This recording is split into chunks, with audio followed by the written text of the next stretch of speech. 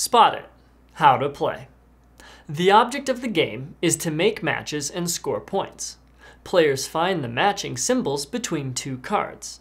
A match must have the same shape and the same color. Only the size may be different. There are five different mini games you can play. Version 3 Hot Potato. Shuffle the cards and deal one card face down to each player. The remaining cards are set aside to be used later. Decide how many rounds you wish to play. Five is a minimum. The object is to have the least amount of cards after all the rounds have been played. This is accomplished by getting rid of your cards during each round. Players simultaneously turn over their card in their hands.